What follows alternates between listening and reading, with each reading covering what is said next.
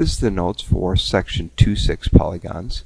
Uh, if you haven't done so already, pause the video and read the section before uh, continuing on. So we want to start out with defining what a polygon is and you, will notice that I have the, the formal definition here. It says let P1, P2, dot, dot, dot, and Pn be n distinct points in the same plane. The union of the n segments, P sub 1, P sub 2, segment, uh, segment P2 and P3, all the way up to segment Pn back to P1 is a polygon if and only if each segment intersects exactly two others if no segments sharing an endpoint are collinear. So, so let's let's look at using that definition to create a polygon at this time. So I'm going to come over to my calculator to do that.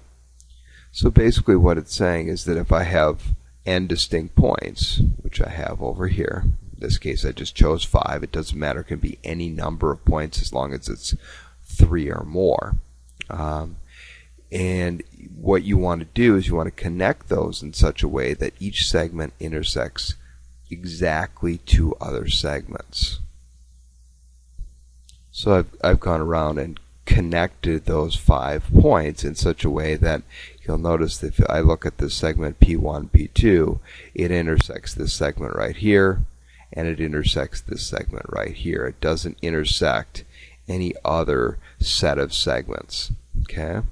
Um, same with each one of these segments is touching exactly two other segments.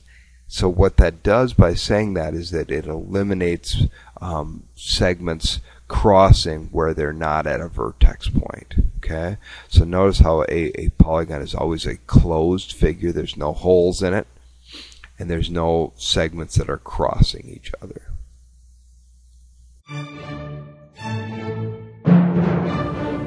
Okay, now I'd like to take a look at the parts of a polygon. The, the two main parts that I want to look at is the idea of sides and vertices.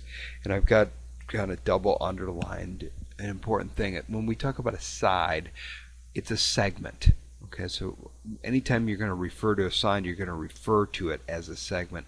And with vertices, it's always a point. So we're always referring to it as a particular point. So sides are segments and vertices are points.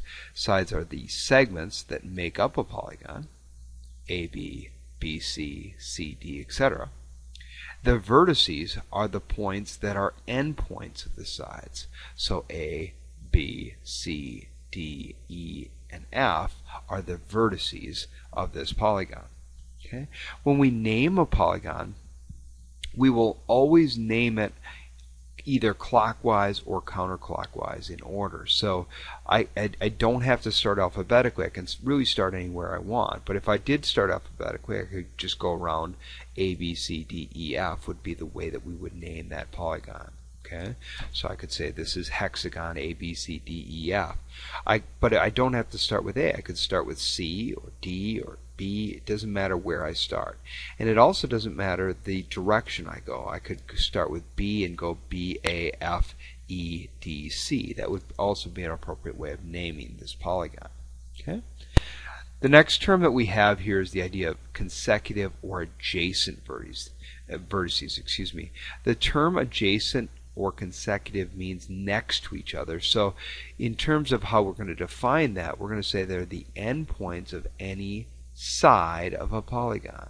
So if I look at the vertex A, there are two other vertices that are adjacent to A. Because AB is a segment, therefore B and A are adjacent vertices.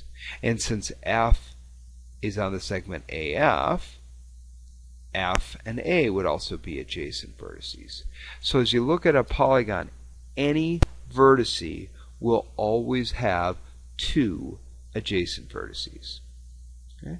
And then the last term that in terms of parts of polygons that I want to talk about is a diagonal. I don't have any of those drawn in at this time, but a diagonal is a segment connecting non-adjacent vertices. So if I look at any one vertice, let's say I'm going to take the vertex A, there, there are several diagonals for A.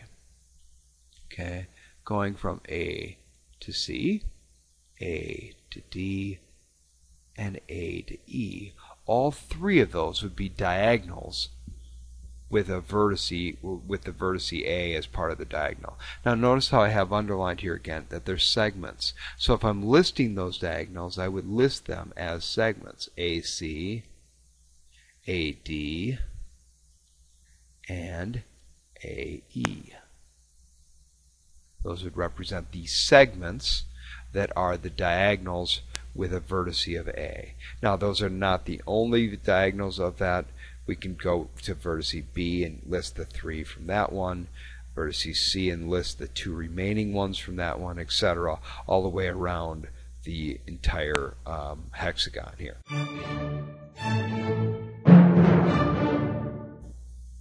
Okay, let's look at the names of different polygons. These are the polygons that you'll be responsible for. A polygon with n sides is called an n-agon, where n is small and the polygons have uh, where n is small, the polygons have special names. So these are the ones that you'll, the special names that you have to be familiar with. A triangle obviously has three sides. A quadrilateral is four. Pentagon five. Hexagon six. A heptagon is seven. Octagon eight. Nonagon is 9, a decagon is 10, and a dodecagon is 12. So for the most part, you should be familiar with a vast majority of those. The only ones that you maybe aren't quite as familiar with is heptagon for 7, nonagon for 9, and dodecagon for 12. Okay. Polygonal regions.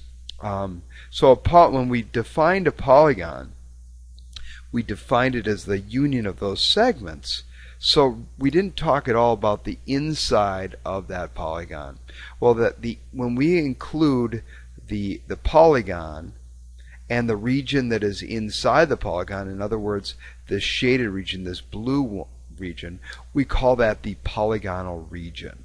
Okay, and when we look at the idea of a, a convex polygon, if we talk about a polygon being convex, we're talking about a polygon in which its region is convex.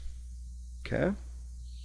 A simple test for a convex polygon is to draw all the diagonals of the polygon. If all the diagonals are within the interior of the polygon, then it is a convex polygon. If any diagonal is partly or completely in the exterior of the polygon, then the polygon is non-convex. For instance, if I look at this polygon up here, if I were to take and draw in the diagonal from A to D, that diagonal is on the exterior of the polygon. Therefore, that would not be a convex polygon. Therefore, we'd call it a non-convex polygon. Okay, the last thing I'd like to do is take a look at the different types of triangles. Um, triangles can be classified by the sides, and there are three different possible triangle classifications. We have equilateral triangles, we have isosceles triangles, and we have scalene triangles. If we talk about a triangle being equilateral, we're saying that all three of its sides are equal in length, and we have those marked here with um, slash marks on each side indicating that all three of them are the same. We have an isosceles triangle has at least two sides of equal length. Therefore, all equilateral triangles are isosceles triangles as well. Okay? And we'll get to that when we talk about the hierarchy here in just a little bit. And then finally, scalene triangles is a triangle in which none of the sides are equal in length. Okay? Now I mentioned the hierarchy. Below you'll find a hierarchy uh, for triangles and, and, and we have the most general idea in geometry is a figure. Okay? Well, a special type of figure is a polygon, and a special type of polygon is a triangle.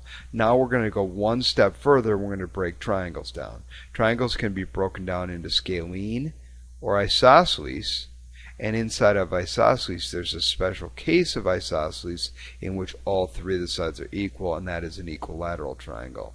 So although there's three classifications for triangles, they aren't all on the same level. Equilateral is a more specific name than the other two. Okay, so let's take a look at this this one example problem that we have, and really, like I said, most of this is, is terminology here in this section. It says, according to the hierarchy, a triangle is a special type of what two categories? Okay, well, if I look down my hierarchy, here's triangle, so it would be a special type of everything above it, special type of polygon, and it's a special type of figure. So the answer there would be polygon and figure.